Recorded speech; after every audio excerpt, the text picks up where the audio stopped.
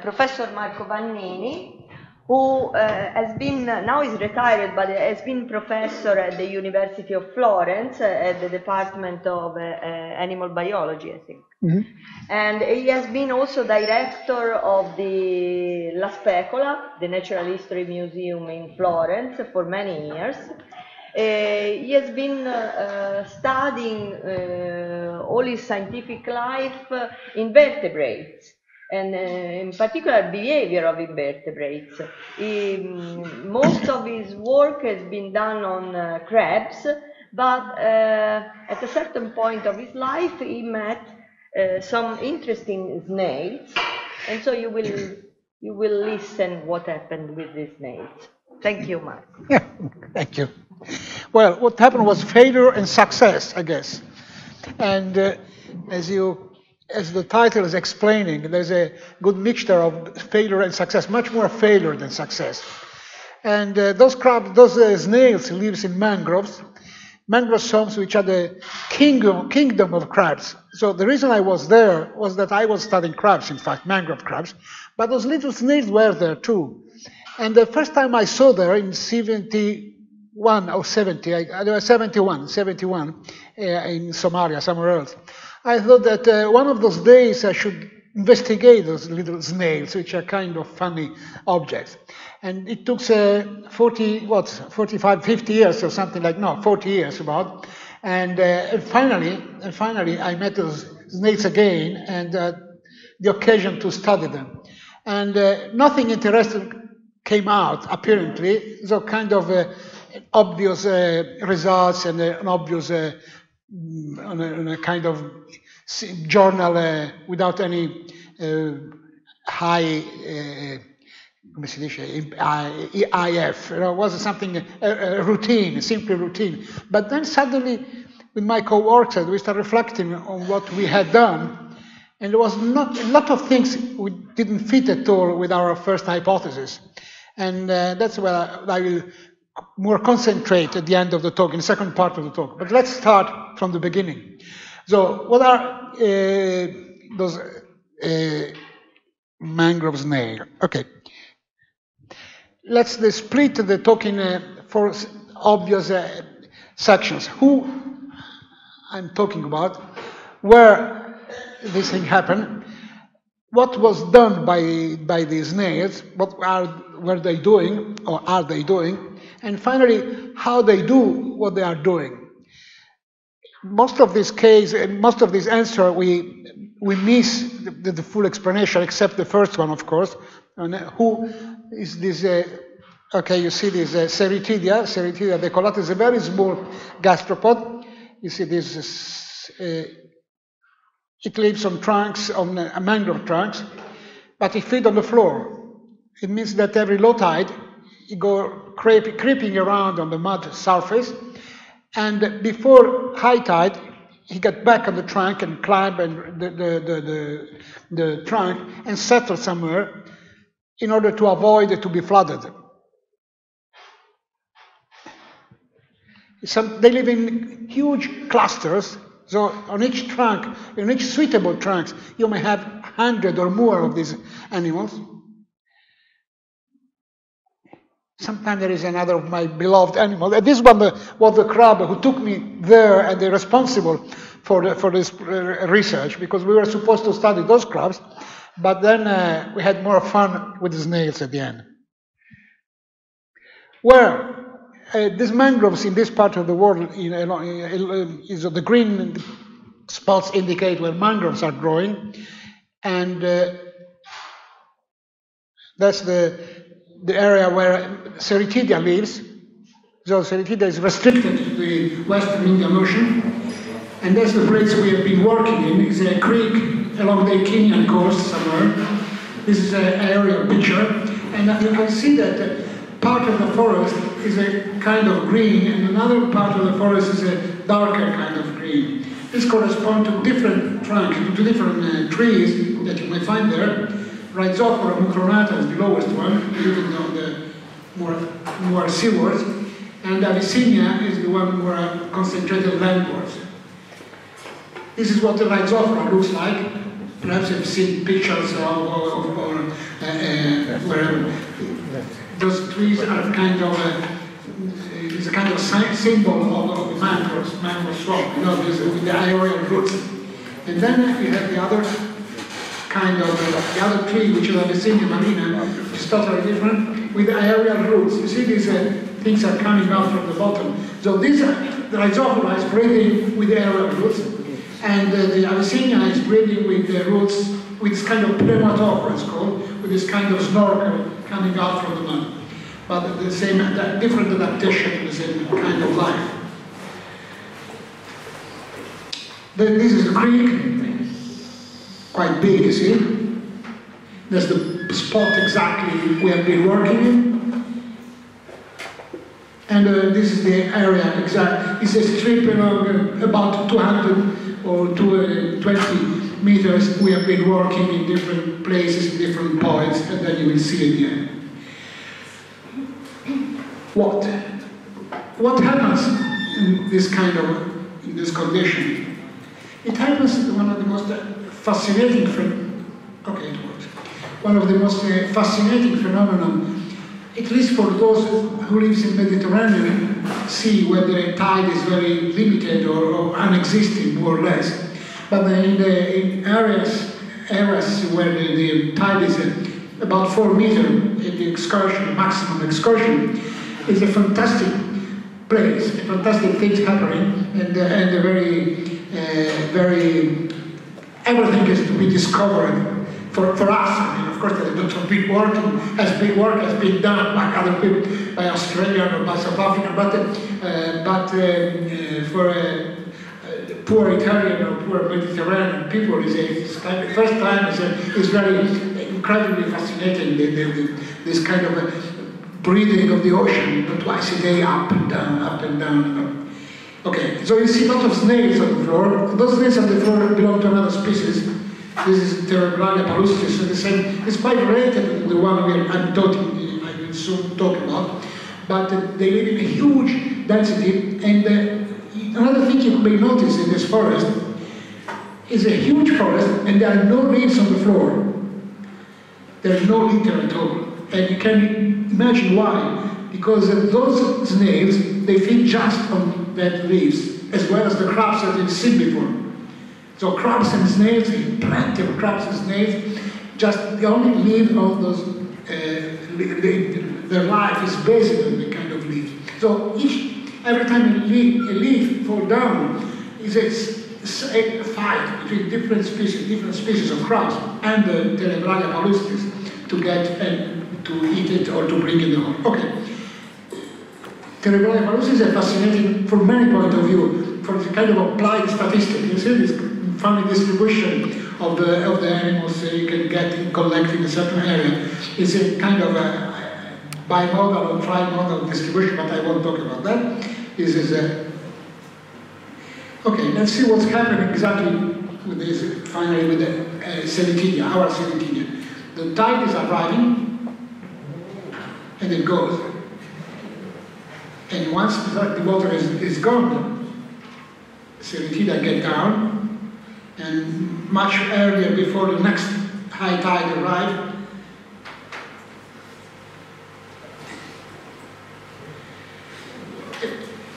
basta. So the few things that you see crawling or running up and down are little crabs.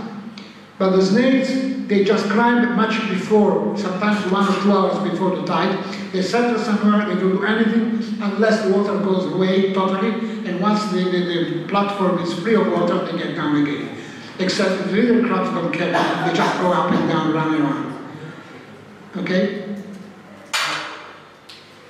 Well, want to see something more? You see, this already clustered. The white spot is our fault because we painted each, each animal with this kind of white uh, you know, that I can't you.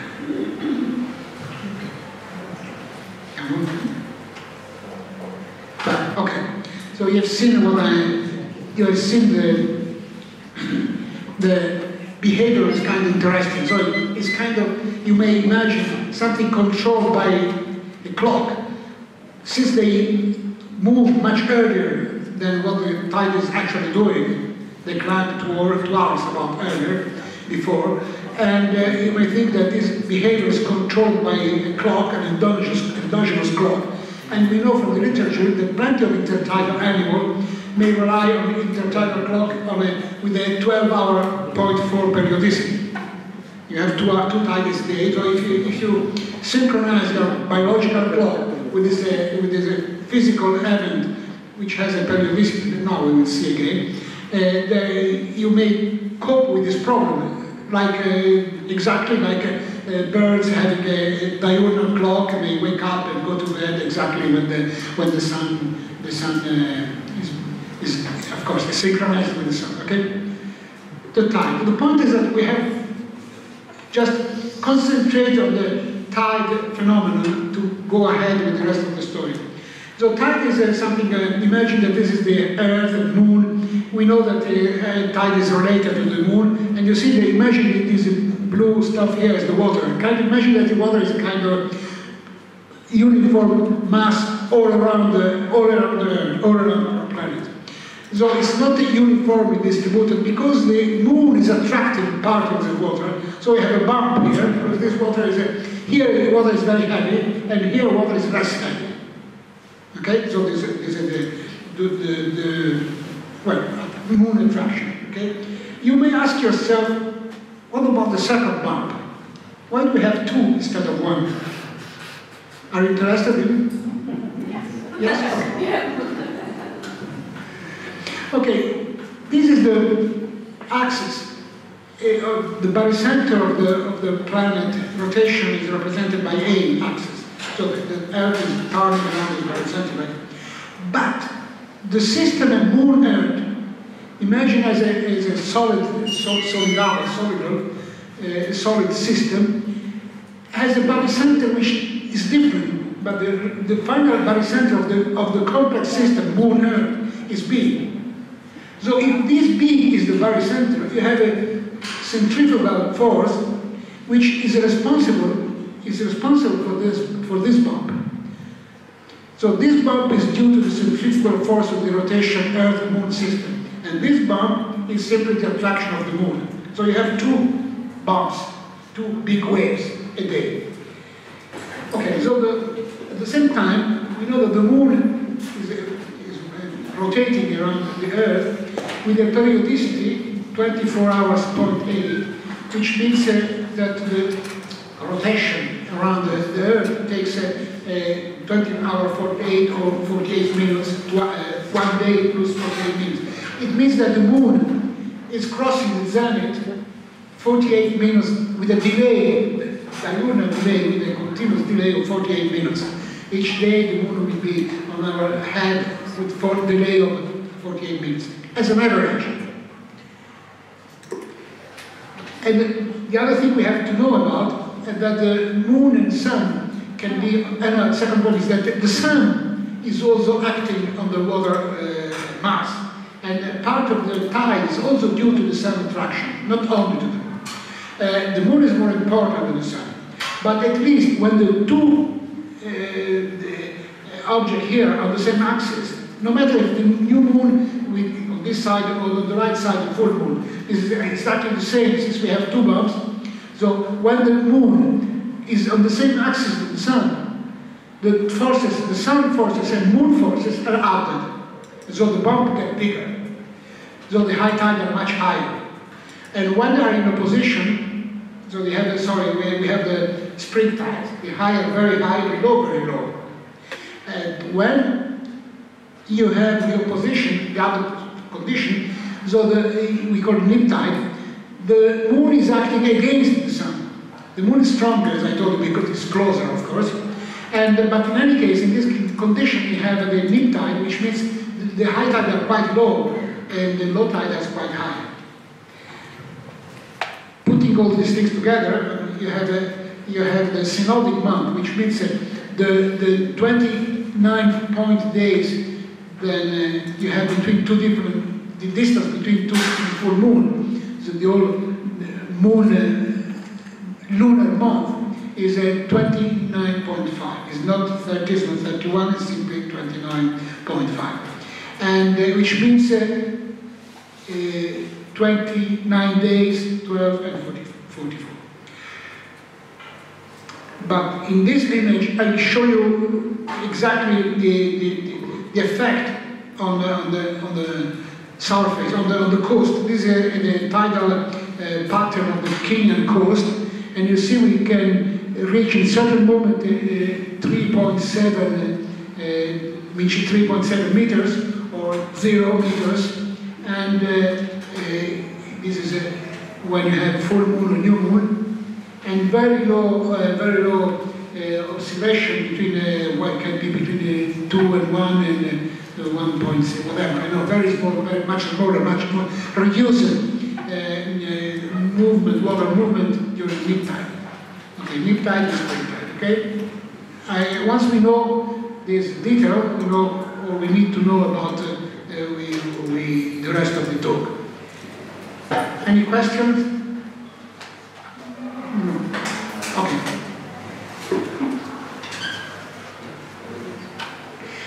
Now I'll show something a bit more intriguing. These are the, not the difference, not, there is no represented here high and low water, but simply the peak high water, the high water peaks, which means that the spring tide, the water can reach uh, 3.7, and the neap tide it can reach uh, 2.2. But you can see that these are the, each peak is a single, is a single high tide. So it means that the two uh, for the two tides of the same day, the two consecutive tides, can be very different from each other. So this is a this is a 2.9 uh, perhaps, and the following one is 2.4. Then you have another one uh, 2. Uh, no, it can be sorry, it can be 2.2. Then another one is uh, 2.7, and then again 2.2, which means it can be half meter example of difference between the morning low tide or the morning high tide and the evening high tide. So there is a variation from spring tide to neap tide. A spring tide basically higher, much higher, okay? They're always at this level.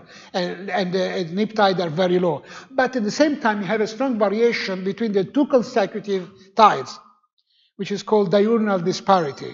And if you want to know why, I'll tell you later. And again, if you imagine that this morning the tide was a, a high tide was at 8 o'clock, you expect that tomorrow morning it will be at 8 o'clock, point 48 minutes. No, nearly 9 o'clock. The day after again would be, you know, again uh, the, the double of 48 or whatever. So because they say 48 delay uh, each, each day is an average delay of the moon which is also sometimes delaying uh, 50 minutes, sometimes 40, 45, something like that.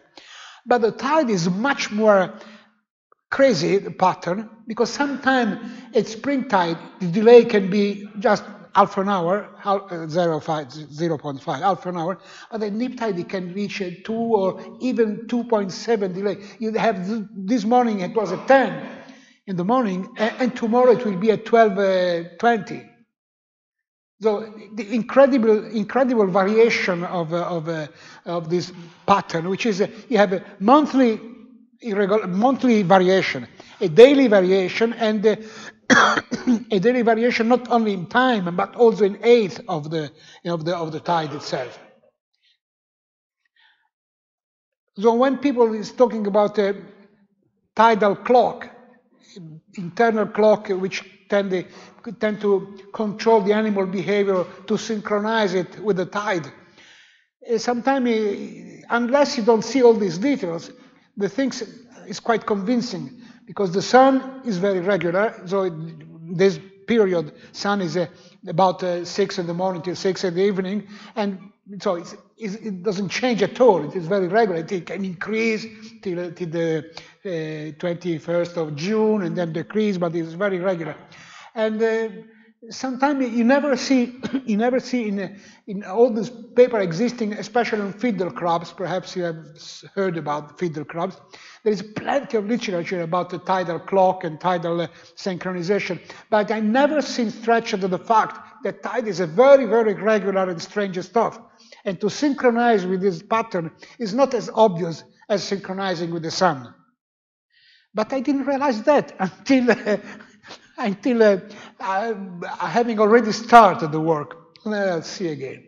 Okay, so we, we, were looking for crabs, but at the same time it was kind of fun to, to, to, to work with this strange snail which were going up and down. And so we're doing with no instruments at all. We start doing something with my students, my first students, and what we could see that eh, there was during the high, high tide, the 100% of snails were in top of the tree, not in top, in the right, in the right position. Then they were, most of them get down and then again up at spring tide something very irregular at neap tide with many animals remaining on the floor sometimes, since the, the water sometimes doesn't even reach the platform where they live. So they can remain and stick on the floor without bothering because they, they will, it will be safe for one or two or more tides. And then what we've been doing, we make some little exchange. We have animals from the upper shore, animal from the lower shore. So these ones are used to, to be very very precise in their in their um, movement, migration pattern, very precise, and having they have to crawl much higher than those living on the upper shore, which are not bothered by the water for many days. And even if they're bothered, they only have to climb 10 or 20 centimeters, because here is the limit of the high water of spring tide. So the, the upper Avicennia is hardly reached by, by the, uh, during certain spring tide, the water may not even reach them. And occasionally you see lots of dead animals there and crabs. So what they've been doing, is, which is obvious for those uh, who have been working on uh, this kind of problems, you know, migration orientation and read, we exchange the animals and what happened? So we, we didn't have a, metric, even we had no instruments at all. We didn't have a, a metro. We have to build our own meter here with a pencil or a stick, something like that. We have plenty of cameras, and that's uh, nothing else. And what we found that uh, you see, this is you have animals from the upper trees, and these are the animals from the lower trees. So these are 100% on the tree and then nothing, then 100%, and then they get down. But on the, those in top were absolutely most of the time down, and uh, in the middle there was an intermediate condition. First thing, they're on the trees, on the floor, on the trees, and this condition, they, half of them get down and half remain on the trees. Why? We don't know. We never could find out, and we, uh, it was a kind of nightmare guessing why. So this was a, we say we will do it in the future, and this future never came. So sometimes the, migration exists, but is uh, reducing. Not reducing, the, the, right moment is the right moment, you know, but, uh, and when they have to climb back here, they are climbing much before the tide arrives. But uh, we don't know why sometimes they get, there is no relation with the, with the sun or weather condition. But what we did at a certain moment, we mark the animals, we exchange the animals, and what we have we done? Yeah, we took the animal from the lower uh, trees to the upper one. This is hours of flooding period. Those animals are, grazie. Those animals uh, are, live in a place where there is an average uh, eight hour of uh, inundation, flooding, and those animals are four hours a day. So the condition they live is quite different. And uh, once we exchange this is very primitive uh, experimental procedure and very uh, artisanal, artisanal, artisanal. And so you see the, here the, the, the market, the, the white one, which are the, those who are already living here, and the uh, violet one, which are those who have been taken from the lower uh, uh, levels. And here you see, without any statistics, uh, uh, complicated statistics that, uh, which we did in fact, but anyhow, the image in itself is, a, is sufficient to explain you the different behavior. The animals coming from lower levels, they go ahead and climbing like if the water was coming. So it means that uh, they didn't have any direct information. They, their clock will tell them uh, at what time to start climbing and at the same time how high to climb which is not very obvious. The clock uh, can tell you when, but uh, how high is, a, is, a, is another little, that is a, is a different problem. But those animals may rely on the same, uh, those, those two information, and for at least four, four days, about eight tides, the two groups remain uh, behaving quite different, and after eight tides they were overlapping each other.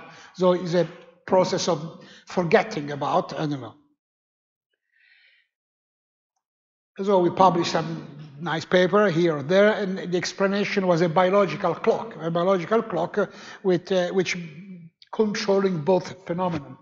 But here at the moment I told you before, we start reflecting.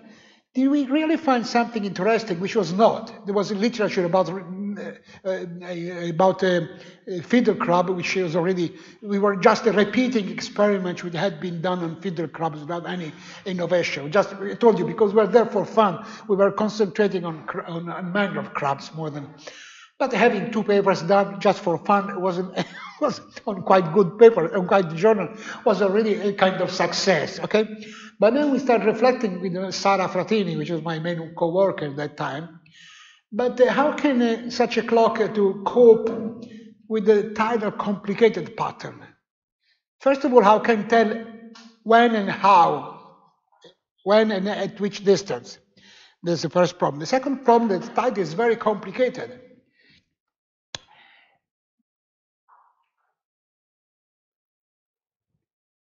So what the conclusion was that a snail climbed more or less regularly in time and high enough to not get flooded. Translocation doesn't affect the rhythmic behavior. Snails climb a different height according to the shore level. If translocated, snail behave as expected at home. And uh, the problem remains how. What kind of signal may tell the snails when and how high to climb? And here start the, the old stuff becoming intriguing. And so from that, about 10 years ago, no, in 75, we forget about crabs, more or less definitely, and we concentrate on, on snails, having some more efficient apparatus, not very high tech anyhow. This is plastic pipes and uh, two meters long. And uh, and this is Sara, which is just marking the pipe to allow us to, to really exactly define where the animals is stopping. And then we're releasing the marked snails at the base of the pipe.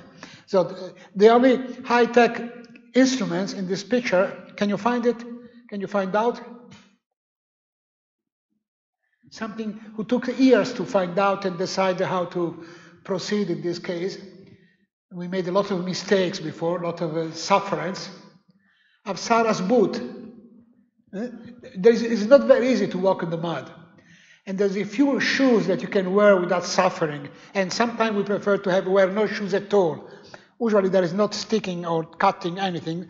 And so it's, it's quite safe to walk without shoes as well. But uh, not, not totally, in fact, because this pneumatophore is quite flexible, but in fact, uh, that uh, annoying stuff. So this is a scuba diving uh, suite the, the, sorry, the, the, boots are part of the scuba diving suite. Only those kind of, of uh, foam, come si chiamerà la, il polipropilene, come si chiama la? Neoprene, ok, the neoprene, neoprene, neoprene uh, uh, typical use for, for a scuba diving suite is uh, the one we use uh, the boots. So we purchased plenty of boots without the rest of the of the stuff. And this was the only uh, suitable. If you ever happen to you to go in a mangrove swamp, sooner or less, I hope, and I I, I, I that you and um, I hope you could, and I wish. Uh, uh, I, I wish you may enjoy it, but don't forget to buy to purchase this kind of boots. Okay. So the only limits to your fantasy, experimental fantasy then, is only limited, limited by the number of pipes that you can afford to buy, and they are quite cheap after all, and the number of people you may use to work with all these pipes. And uh, I'm sorry here that uh, that Matilde is not here. Is uh, you know is a colleague of in the doctorato here in Pisa. This is Matilde. Someone I, I guess some of you knows Matilde and this is the rest of the crew, which is now a different part of the world. And uh, and this is uh, what the only limitation are pipes, as I told you, and students.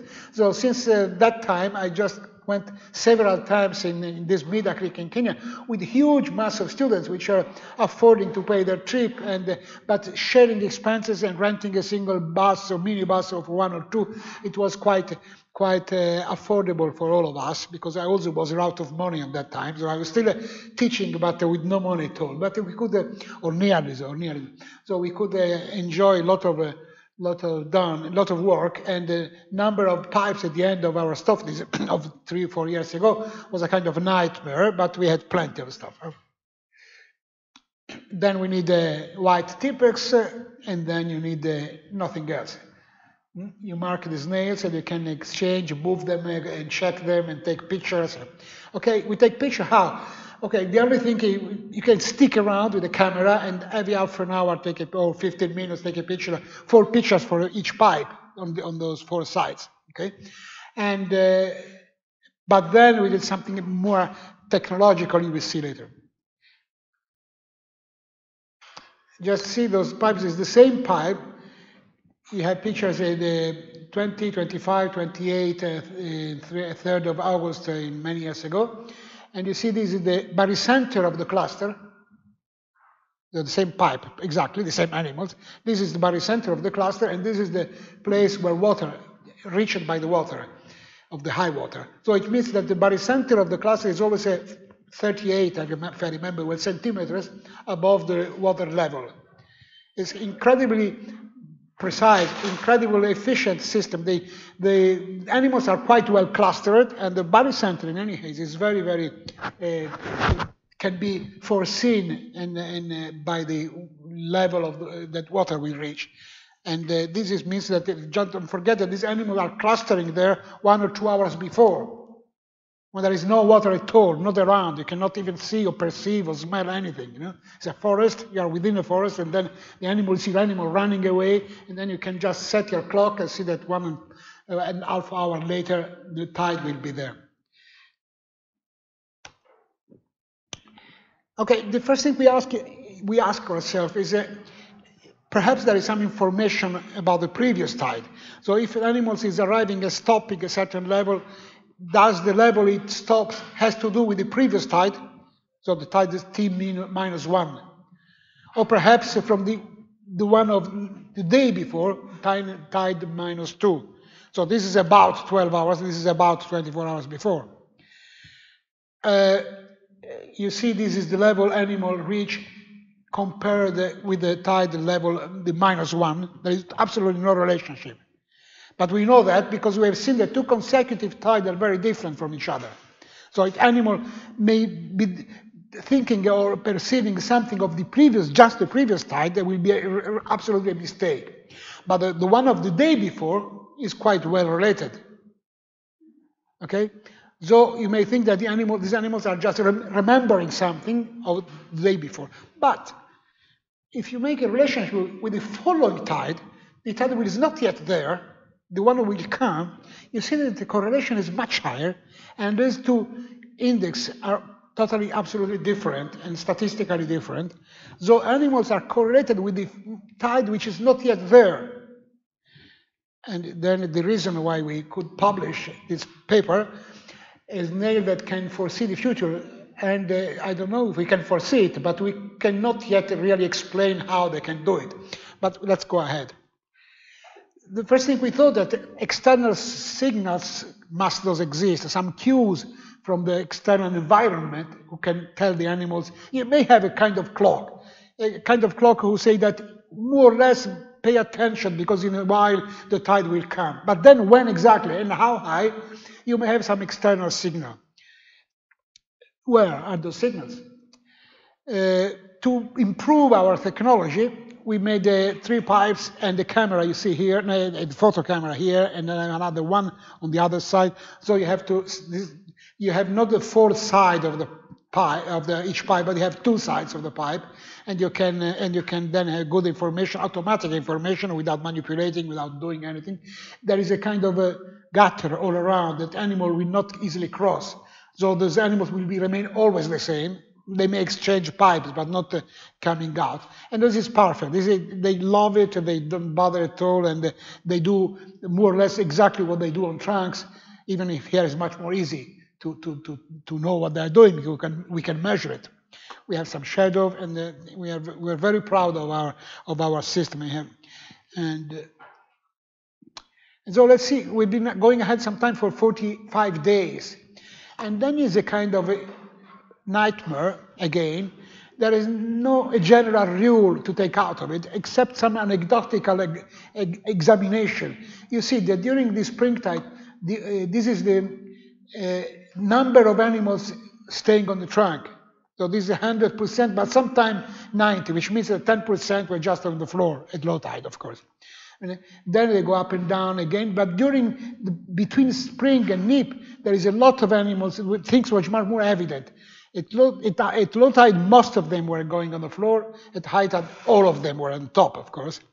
Then you see, look at here. You have, ah, sorry, sorry.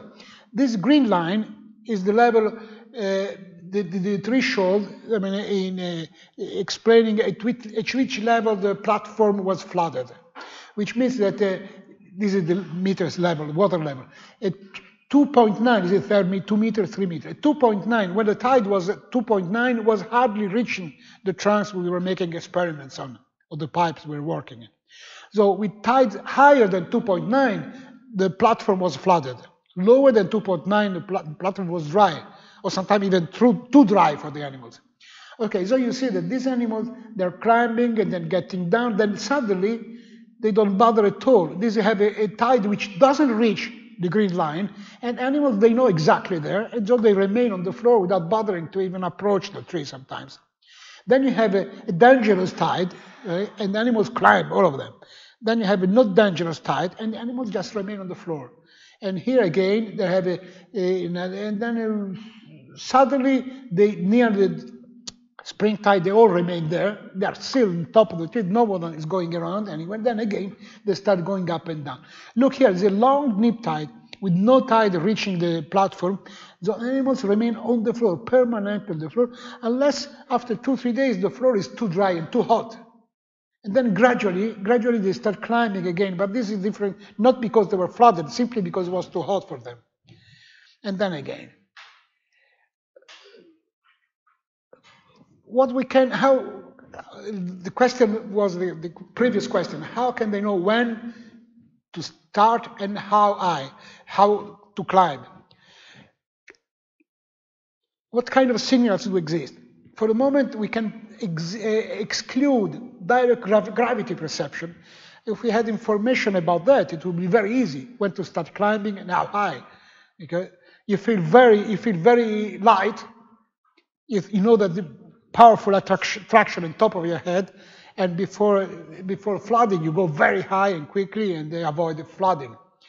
But the variation, gravity variation of, uh, of uh, in terms of gravity force, variation between high tide and low tide is one millionth. So if an animal is, a, is a, one gram heavy, like our uh, Cerithidea, the variation is about one millionth of gram, which means a droplet of water, or if you pee or whatever do, snails do instead of peeing, it will change your the, the signal. So it, it's too small for being a, for being a, for, for an animal, for a snail uh, perception. Even if with animals, we have always to be very careful because even, you know, battle echolocation is too difficult for an animal, or perhaps a, a pigeon's a pigeon's smell or olfactory map is too crazy for being a, for being a, a real thing. You know, we have to be careful when we think an animal cannot do something we should uh, not to be too confident with physiologists or, or, or, or uh, other biologists we seem to already know about it. But this is a one million of variation is really too little for being for being uh, perceived by snails, in my opinion, for the moment. Yeah. Wave noise, impossible. The place, the platform we were working, the first two hours before the flood, the water fringe was two mil, one mile away and there was no noise at all because the water is climbing very slow with no noise, nothing. Direct vision of the seawater, impossible. In a forest, you won't see anything away more than five meters. And this is, I told you, one, one mile or sometimes two miles away. Chemical within the soil. We did some research manipulating the substratum, changing, exchanging, or, or digging, or whatever, nothing. we never find any relationship. Even electrostatic variation was supposed to exist because plants may do then we repeated these experiments later, I'll show you. Uh, but it didn't make any platform, any result. Platform inclination. We dig under the mud a big wood platform and then we lift it a few millimeters. Why? Because someone thought that uh, when the water mass come close to the continent, the weight of all this mass may just push down the, the earth, uh, the earth, uh, the coastal uh, limestone, and even a few millimeters. But if you can perceive this variation, you would have right information. But uh, it was even supposed to the geologist uh, who told me, but are you sure that this, this uh, um, tilting of the, of the limestone exists? I say, I'm not really sure. You can try anyhow. And so I did try, and we could, we could well, I'll tell you, how can you make a, a, a wood platform like a, as big as a door to lift two, three, or four millimeters? It was a, something genius of a, of a students of mine. And uh, they, we put under the platform seed of a dice? Chickpea. Chickpeas, dry chickpeas. A dry chickpeas absorb water and they grow up and they expand themselves and uh, and uh, and they just we could just have this effect, which takes a lot of effort. We put a lot of chickpeas and. And once they start absorbing water, the, the platform start moving. but the, the, the snails didn't bother at all, absolutely living in, working in a tropical country like that oblige you to have this kind of a, of course, uh, to rely on the resource of this kind. Okay, we don't have, could not really invent some more complicated mechanical instruments, but the chickpeas was perfect. Other possible signals. Soil variation in terms of pH, no results electrical potential variation between roots and canopy, which was different from the electrostatic stuff. And they put electrode between, uh, uh, comparing the, the, different potential difference between root and canopy. Mancuso stato, Mancuso was a professor in Florence of, of, plant neurobiology, which is kind of contradictory stuff, but uh, he found, he's finding out um, quite funny things. But in this case, he found a, a potential variation, but only with the 24 hours periodicity. This depending on the uh, chlorophyllian activity of leaves. So this is every, every day you can measure a difference, and but it's very regularly with the synchronized with the sun, of course, or caused by the sun. Chemical information on the trunk, or visual cues of something happening in the canopy, or again a chemical released by the trees, by the canopy, not by the floor, and again soil vibration due to the ocean wave impact and the wave impact is about seven kilometers away. And there is a small reef in Kenya in that area. And of course, during high tide, you have the wave uh, hitting the coast with more energy. And uh, so, if you are on the coast having a drink on a nice cafe on the coast, African coast, and uh, and you can perceive, oh, tide is, uh, is growing up. You can notice the difference of the noise difference, the sound of the wave, but not 70 kilometers away with a huge forest in between, which also absorbing absorbing uh, uh, uh, vibration, uh, sound vibration. Okay. Chemical cues left on the trunk by the sea or conspecific. We, what we did, we lowered the pipe, we had two pipes, and we lowered in the mud 15 or 30, 30 centimeters down. And the hypothesis is that if the snails use the, some chemical marks, once they are feeding around and once uh, they are having coming back, the control pipe they will go exactly somewhere, somewhere. But those who have been put down, the animal will stop 15 or 30 centimeters lower than control, which they did not. So this white stuff they should have done, but this black stuff is what they have done compared to controls. So animals were not affected by our manipulation, pipe manipulation.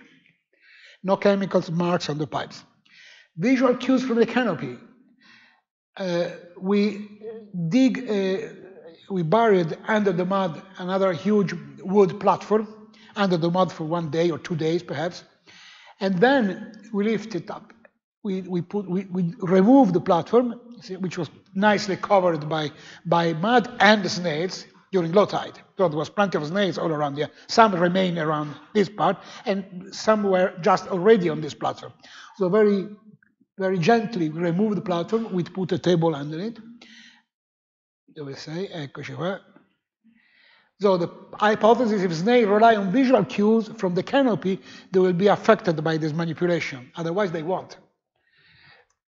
So this is our final uh, stuff. This is animals climbing from the platform on this side, and those are animals climbing from the mud, from the from the natural mud, from the other side. Okay, this is the, the, the, platform is 60 centimeters high than the, the, the, the, wood platform is 60 centimeters high than the, than the platform, than the, the mud. And here the results. Animals, you know, the, starting from blue spot, uh, were high 70 centimeters than those starting from the floor. So we, which is quite similar to the our manipulation 60 centimeters. But we repeated several times, and the second one was 60.9. So the animal were just exactly the animals coming from uh, from the from the platform were climbing exactly 60 centimeters or 61 centimeters higher than those starting from the from the muddy surface. So exactly, so they didn't have any external reference. They had in mind that they have to climb, uh, uh, they have to climb uh, one point, uh, no, what was it?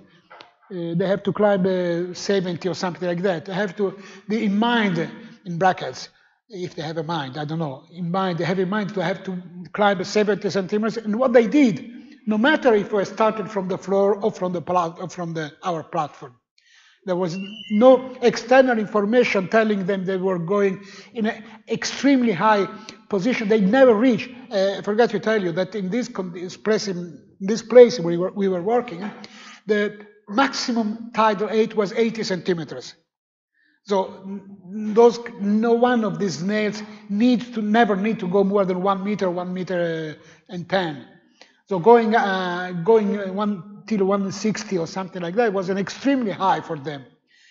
So they should have uh, walking down and say uh, terrified by such a such a level they reach. But of course they weren't terrified at all. They were just doing what they had in mind to do. Okay. No visual marks. Direct evaluation from the ground. So the previous experiments will tell you something about that. They cannot go up and, and, then perceive how far they are from the platform. We repeat it with another technique, but I, I won't bother you. Okay, let's go ahead.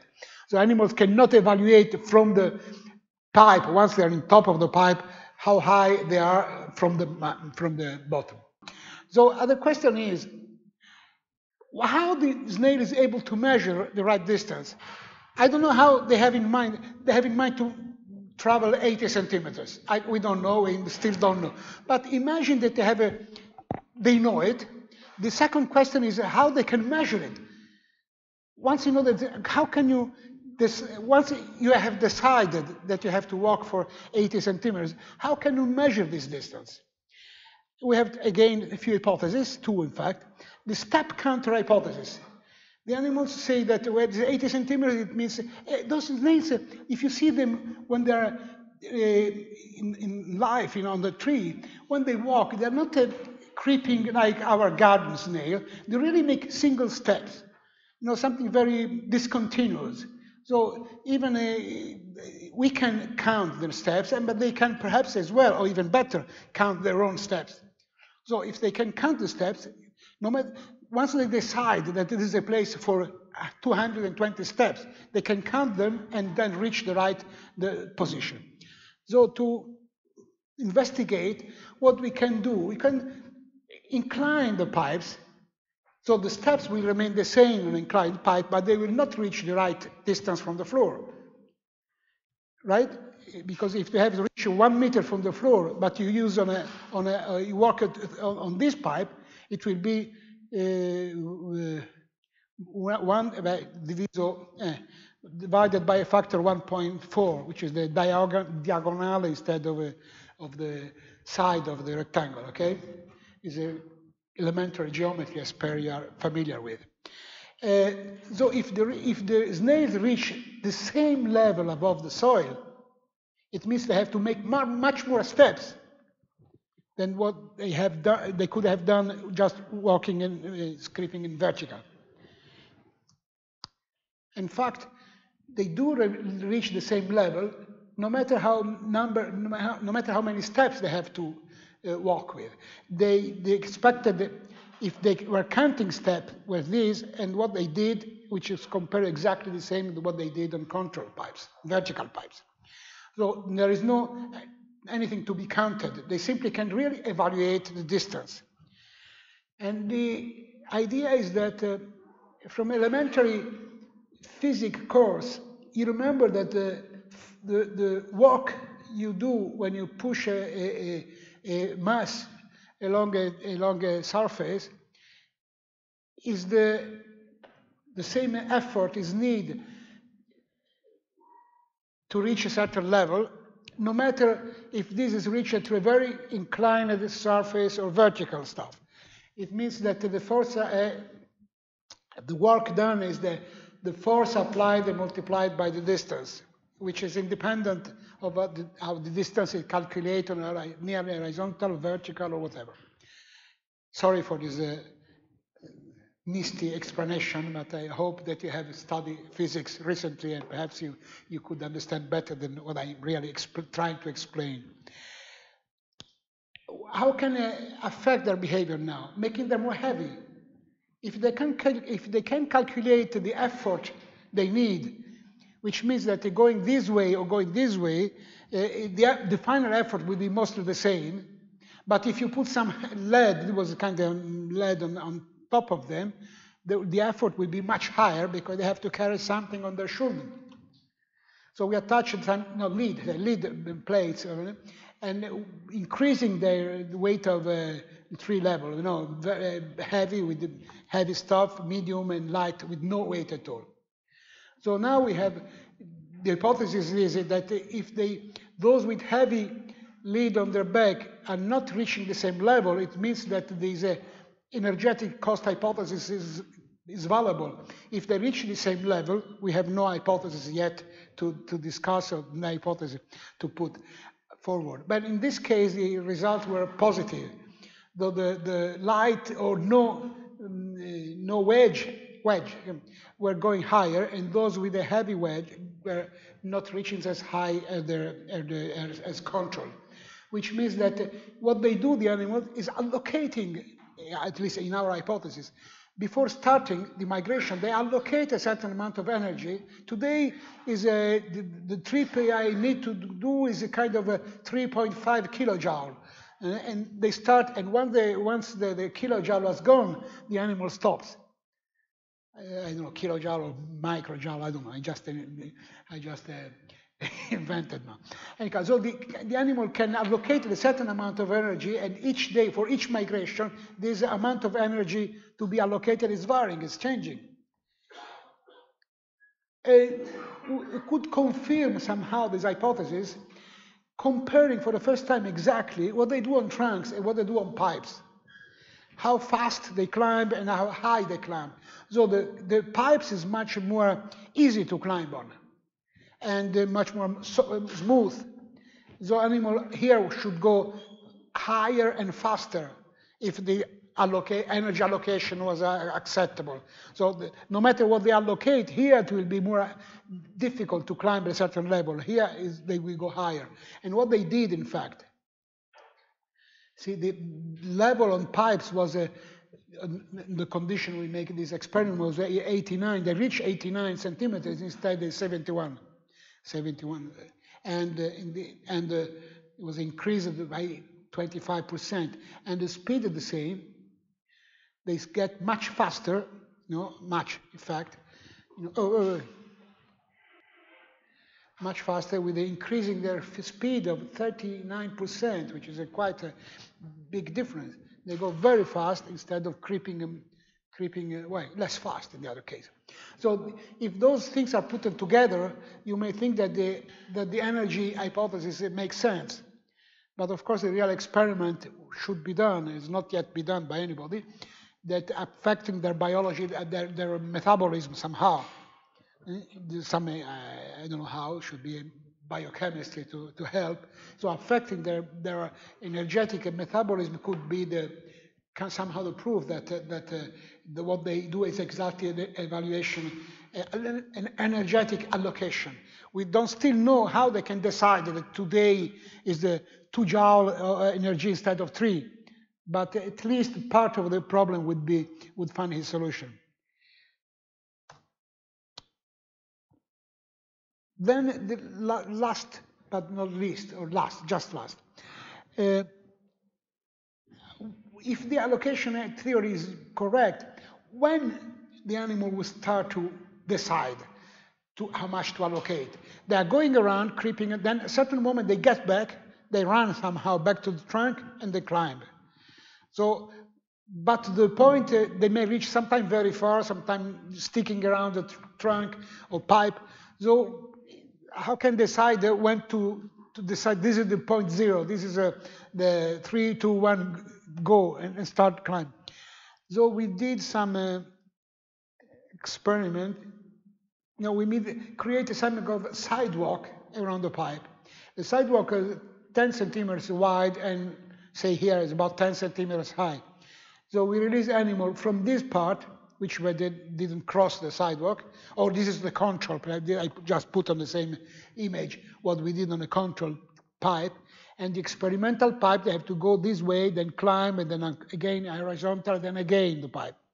So the point is, would they add this distance and this distance to reach the same level, the correct level, I mean, or once they will be on a horizontal platform would they forget about and start again to have a zero here. So if they if they forget, they will go higher. If they don't forget, they will go at the same level exactly. Okay. Then we made another platform, again several in fact, again which is about eight, eight sorry, 10 centimeters above the soil, but with a much wider platform, let's say 30 centimeters. So these animals are climbing again, 10, then walking for 30 centimeters, and then climbing. And in this case, they forget. So it means when the, the, the uh, sidewalk platform is, uh, is only 10 centimeters wide, they can add this distance and then the second part, the trip, and reach the same level than control. But when the platform is wider than 10 centimeters, and we made it 20, 30, 40, 50, uh, uh, then the animal, they climb, then they find again a wide stuff horizontal. They say, well, it's a mistake. I'm still on the floor. Okay? So they reset their, their, their mechanism. And then here they, they found the trunk. Say, okay, then it's my zero. They start and they go exactly 10 centimeters above. Okay, so this means that the, the, the zero starts exactly the base of the vertical trip. Until they are horizontal, the mechanism doesn't start no matter how far from the pipe they, they reach. But once they're at the base of the pipe or trunk, they set the zero of their mechanism and start calculating their energy stuff and reach the right level. Say addition but not subtraction. They can add two segments, but they cannot subtract. Subtract, uh, you can imagine, we, make a, we dig a hole, so the animals were walking this way, they're getting down, then climbing the, the, the climbing the pipe from a lower level. So there was a, they were subtracting this or not? No, they don't. So if they let them climb from zero, which is 20 or 30 centimeters uh, under the soil, they simply reach 20, 30 centimeters less. They, they, they put that direct zero there and they just, uh, they will get a lower level than control. So the, no subtraction, just addition. So when I say aware of, aware of distance, how they are aware of the distance they can reach, they're still unknown, I insist, still unknown. How does snail, let's concentrate again on when, how the snail can decide when starting. A few remaining hypotheses are remaining. chemical information from the trees. Are trees releasing, releasing something from the leaves which can perceived by the snails? The animals, the, sorry, the plants can perceive with the roots something happen in the phreatic uh, falda, si dice? Mm? Mm. Well, under the roots, perhaps uh, the, there is some, the seawater is coming, and part of the seawater is coming under the, under the level. Mm? Can penetrate through, through the mud and, and lower levels. And I also have to remind that the limestone, which is under the mud and under the, the mangroves, is a kind of a Gruyere hole and, and, uh, and a lot of uh, uh, easy, easy to be penetrated by the seawater, even if you don't see the outside, if you don't see the, the, the wave arriving, the water can somehow creep under the, the, the soil levels, perhaps, perhaps. But if the trees have their roots down in the mud, they can perhaps perceive it, which is also wrong because the mangrove roots, they can go very far, they're very deep, but anyhow, we wanted to test this hypothesis and we made tents. We put a, a tent, just we enclosed those pipes in a tent like that. Uh, do I say? Like that, and we have three experimental set. The first was a free air, was a, an open tent as a control. Then we have a, a, a, sealed tent, closed, absolutely closed, and then a tent with, with uh, um, air circulation, but this air came from uh, oceanic, uh, from the ocean, with the, using bottles which have been filled, which have been filled on the sea for, for scuba diving uh, people. You know, so we went to the station, scuba diving station. We had, we took two or three uh, these bottles. In, in, fact, three times. So we have about 10 or 12 of these bottles, and we open the valve and release this water, this um, air within the tent to uh, to affecting to affect the, the, the possible smell or chemical cues released from the environment, from the trees, for instance. So if snails rely on aerial cues, treatment two or three would affect them, while the first one is a pure control. Uh, control we also have without tent at all, anyhow. And the results is that this is the, the bottles. And the results is that uh, there was no difference at all. In three different days, white is uh, one day, dark gray is the second day, this is the third day again. There was no difference. So the, the three white stuff are the same, the three gray stuff are more or less the same, the three uh, pale gray stuff, gray stuff are also the same. There is no difference. And uh, when I say bottles, you say it's a bit more different. We have a, don't have a picture, unfortunately, because if you have, if you let the air coming out from one or 200 atmosphere pressure, uh, first of all, it's very dangerous. So you have to have a, a pressure reductor, a pressure stuff to reduce this, uh, this, uh, this uh, water uh, outflow. The second thing, it comes out very cold, very cold, so you have to let flow it uh, through a warm water um, bottles, uh, allowing the, the airflow to reach the local temperature. The third thing is that it's very dry. And again, letting this water flow passing, circulating through a huge bottle of seawater, still from the ocean. So the, the, finally, the water, the airflow ha was having the right temperature and the water humidity to be compared more or less with the local one. Anyhow, there was no problems because there was no difference at all. If we had some difference, we should have more investigated, but there was no difference at all, so was a, we, we, didn't bother with more detail about them. Then we that finally a new finding uh, just by chance. I don't remember uh, why, but at a certain moment we put one of those pipe very far in a, you see here, Rhizophora forest, the one which is very low and very far, which is not inhabited at all by the snails, there's no snails of, the, of these species around because here the water can reach 170, 172 meters. So this is not an environment suitable for these snails. They've never been there. No one of those have never uh, been there. So we put the pipe there, and what was extraordinary is that these snails start immediately climbing and stopping here. one four, one five. They, they, they immediately, they didn't bother sticking around like they were doing in control pipes, but immediately going and going very high. And sometimes 1.5 or 1.4 was not enough, but then when water rises again, they have to climb and, and, and reach uh, the end of the pipe, or sometimes they had been washed away by the wave, because when water rises, you have more some waves the wind is, is no, is, a, is a, Um, moving the water surface, and this is what they really avoid, they wanted to avoid. That's the reason why they only live on the upper mangrove belt, on the upper mangrove with the other tree species, because when water arrives there, there is no wave at all. There is, is already, the, the water movement has been already filtered by the forest. But this is a, very close to the open ocean or the open lagoon. So sun, any little wind will create waves and sometimes mechanically took them, take them away, uh, removing them. Okay? So those animals, they perceive that they were in a dangerous place. They perceived that the, the, the depth was very high. And what we did after uh, we measured, we compared pipes in different position, and you see that there is a relationship different days, and relationship between the the the water level of the incoming tide and the level reached by the snails was very well uh, correlated. And the same, this is at the speed, this is very fast and very slowly, very fast uh, reaction and climbing. And this is a, no, sorry, the opposite.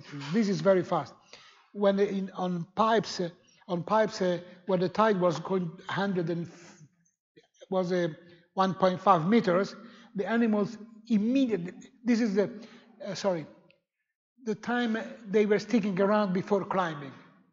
So when there was no danger, they were sticking around for four or five hours sometimes.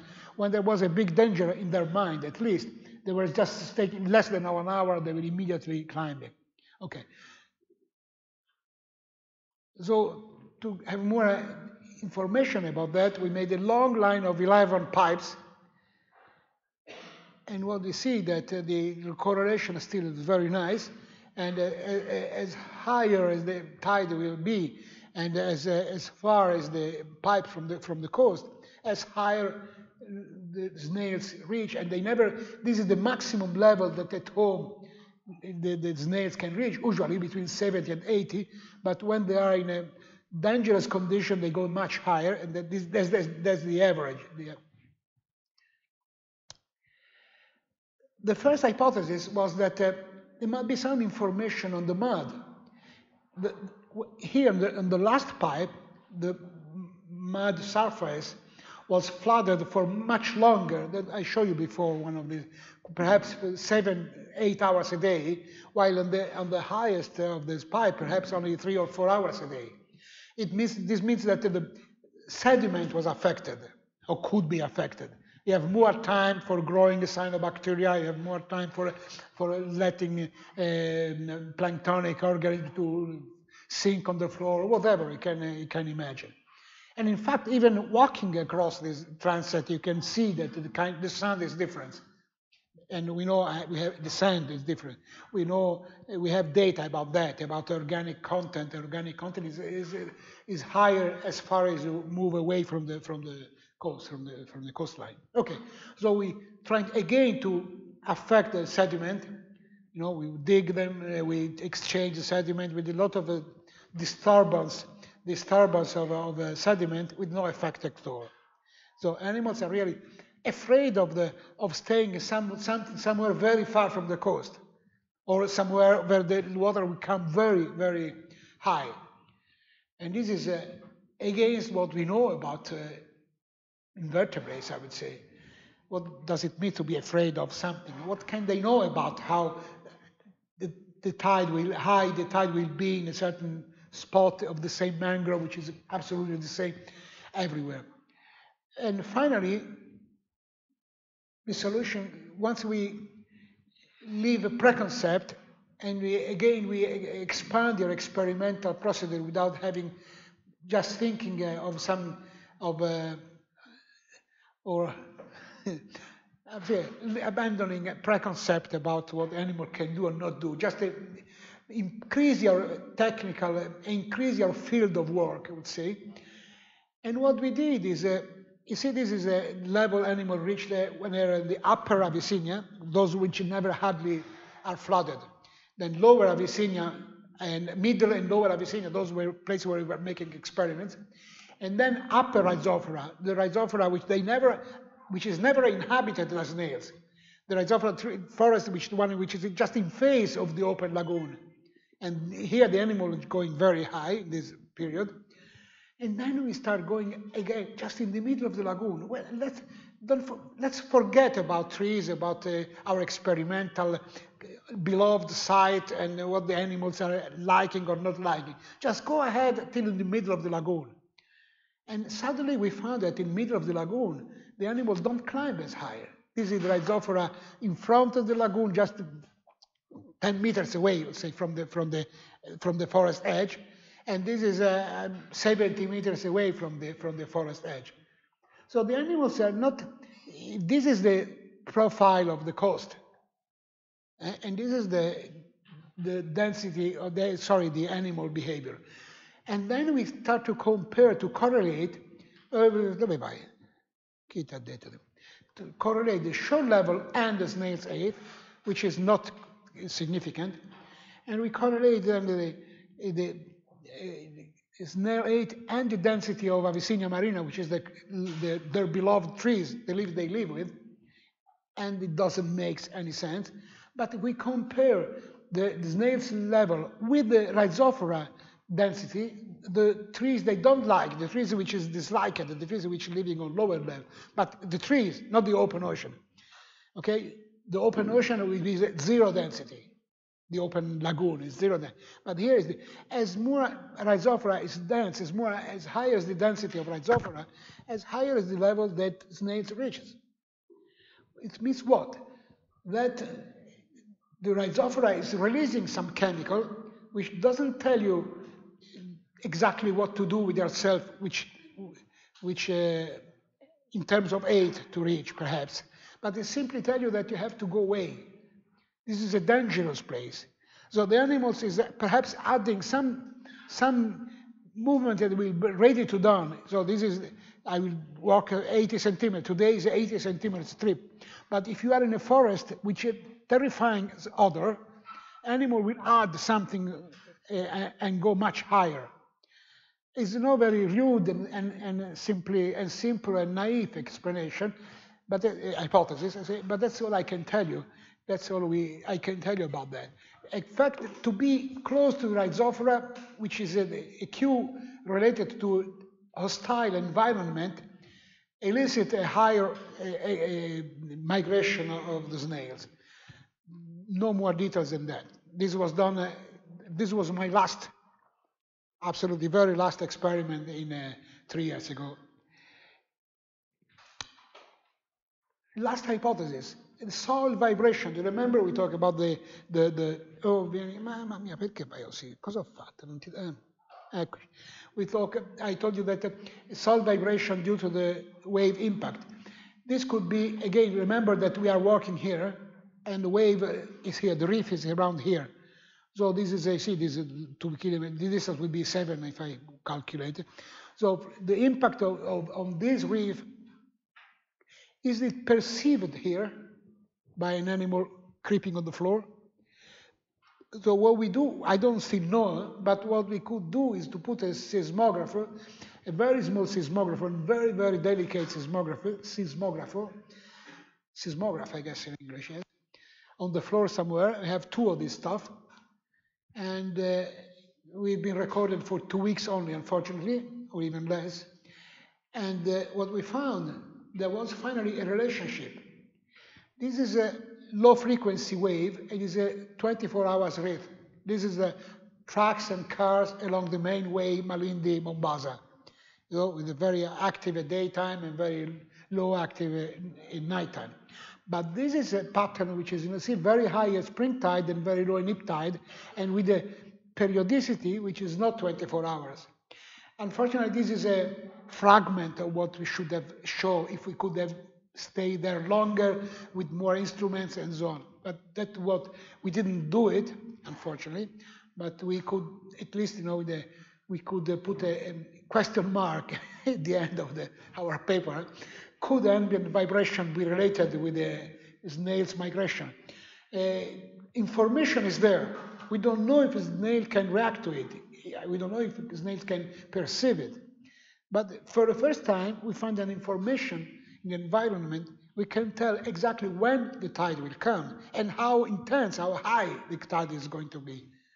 Because the same information is giving both the same stuff, the vibration, intensity of the vibration is carrying both signals at the same time. Okay, so if this was the solution, I don't know yet, but unfortunately, we don't know, we don't know yet c'era la nostra amica, doveva farmi una foto, tra un. Uh, we don't know yet because uh, my co-workers here, my main co-workers and, and, the last two co-workers I had in this trip, in these uh, 10 years of work, are Sara Fratini and Anna Marta Lazzari, and Sara Fratini is working now population genetics in uh, crab population genetics in Hong Kong or somewhere else, and Anna Marta is studying uh, bioma uh, bees biome microbiology stuff in uh, Sassari University. And so I'm here with no possibility of funds or whatever to go there again. And so if you have ideas or fund or you know how to apply to go ahead if you are interested in if you're going ahead for these experiments, you are welcome. I, I could tell you all the tricks I know, all the things I didn't tell in this short, or perhaps not too short talk. But uh, so for the moment, since we were the only one, the only team working on on on Cerithidea, except someone making faunistics faunistics uh, faunistics uh, investigation. You know? But we are just for 10 years, we have been very alone and very isolated in this kind of study, which is very relaxing, I would say. I guess that you, and uh, I'm sure she understands me, and very relaxing, but uh, there is no descendant, there are no, no inheritance, and that's uh, the end of my talk, I guess.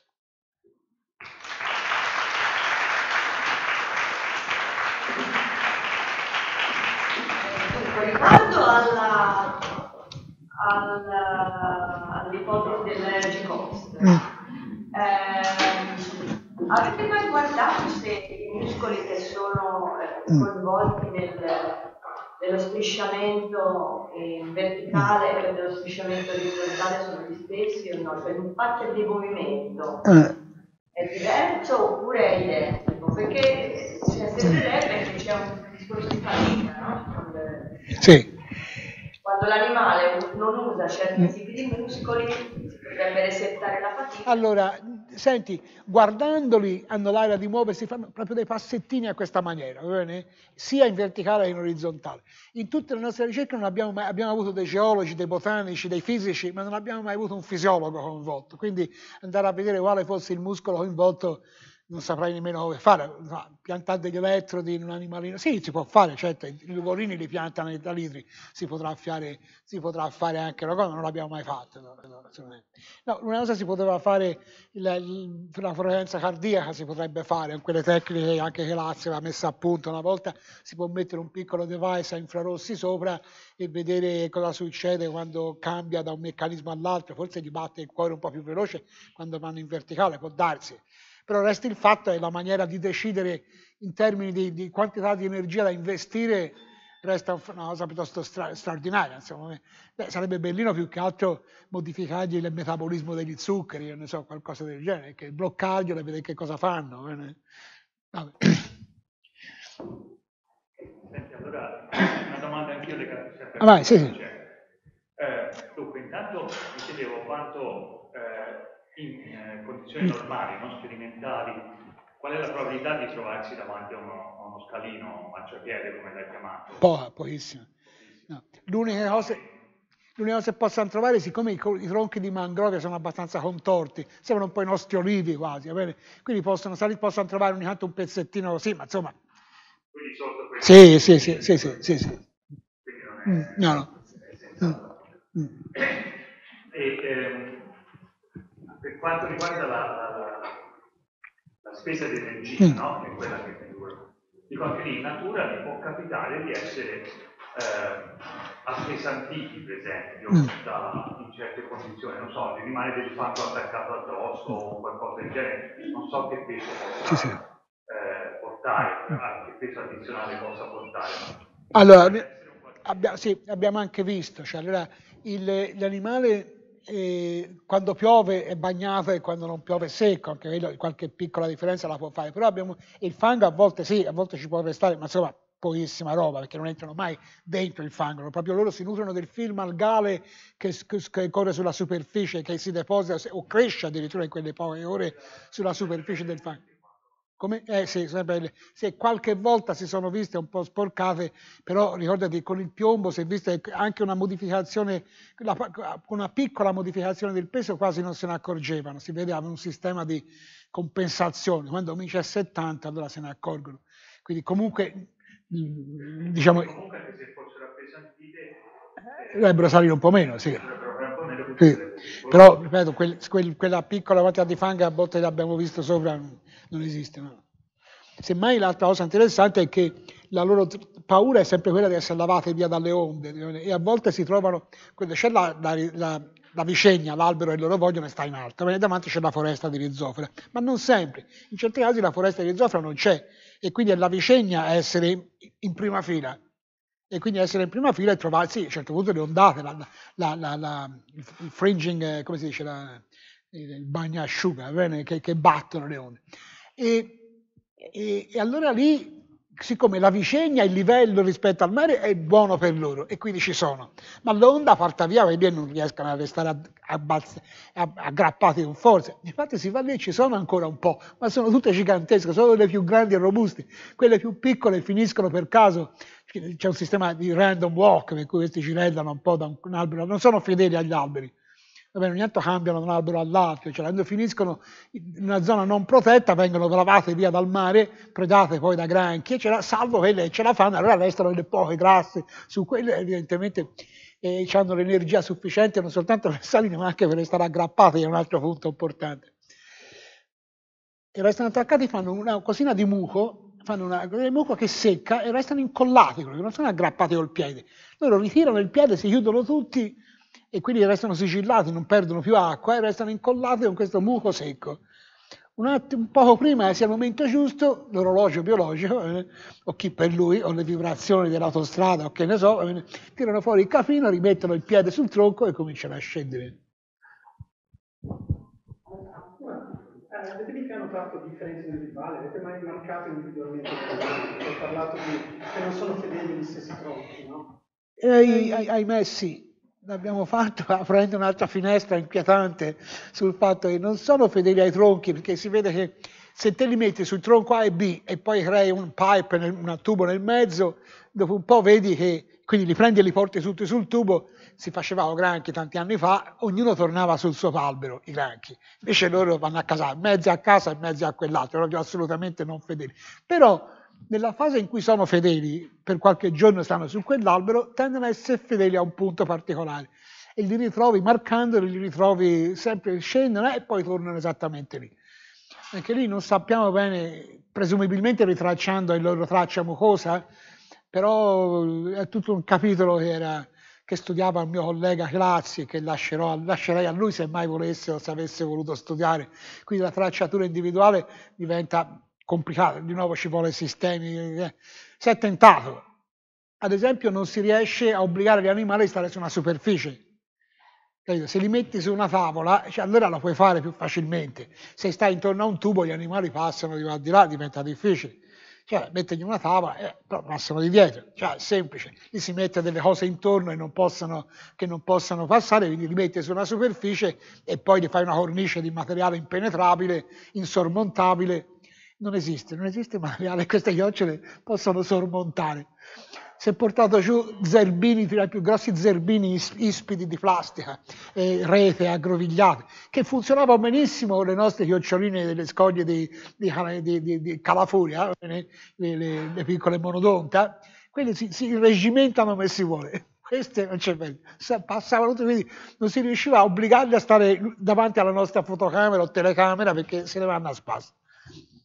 Quindi, però c'è il sospetto, anzi più che il sospetto, che in certi periodi sono fedeli a un punto particolare. Quindi studiosi di homing potete divertirvi. Sì. Voi avete analizzato, no? Sì. Sì. Era riferito soltanto a quello che stava sopra, non a quello che stava sopra. Beh, quello della piattaforma si era riferito a quello che stava sopra soprattutto e quello che poi ho levato perché l'esperimento è molto simile invece era su un tubo ugualmente in cui li abbiamo messi mentre gli animali avevano iniziato la salita gli abbiamo tirato fuori il tubo da 30 cm fuori dal fango va bene?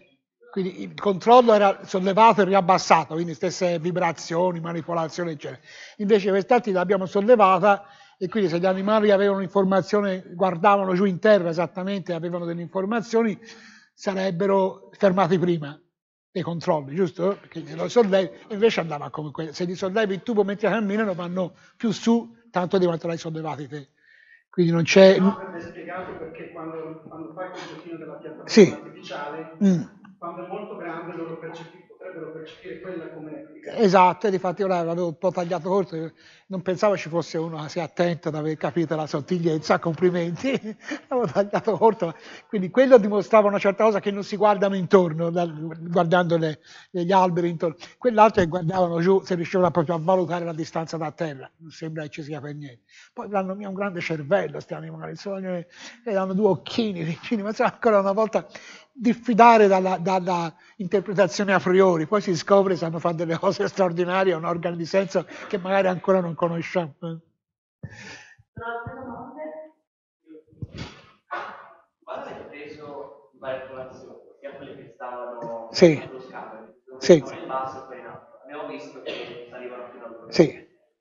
Sì, certo, anche il contrario. Sì, sì. Quelli restavano allagati, io, che io ho tagliato per semplicità, ho scorciato. Ah, finiscono sott'acqua, non ridite. Eh, sono lì a terra, tanto dice qui la marea non viene, blup, arriva l'acqua, scappano, me matti. E anche a loro ci vuole circa quattro maree. Abbiamo poi scoperto, cercato di capire un'altra cosa e dimostrato che non c'è l'effetto gruppo.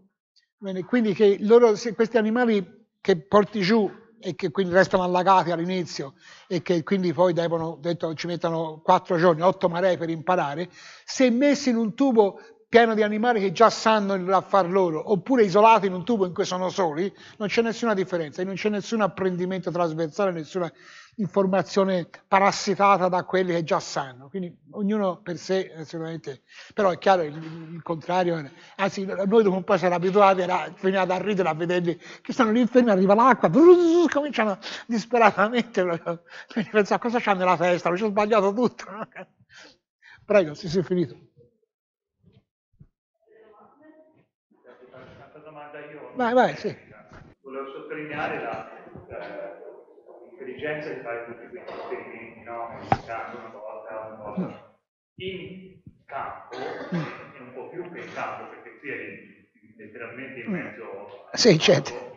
proprio, eh, e eh, inventando volta per volta le, le varie cose da fare. La domanda che faccio è questa, ma dove te trovi le tende o i tubi? Le tende le trovate, le trovate in Italia, naturalmente. Ma quando è alzato la, eh, la piattaforma c'era un tavolino di palla. Eh, quello è tutto, sì, sì, sì, tutta roba fatta lì. La, più, la, cosa più grossa era andare dal negozio dell'indiano che fornisce materiale da costruzione, gli mi dai altri tre pipe, tagli, perché li vendono a tubi di 6 metri di lunghezza, non quelli di plastica, me ne dai altri tre pipe e me li tagli a segmenti di 2 metri l'uno. Quindi questo, le cose, dopo il terzo anno era un indiano molto impassibile, non ci vedeva mai nulla. Il terzo anno stando lì a richiedere gli altri sei mesi di tubi tagliati, cioè, alla fine cavolo, ma che cavolo ci fa?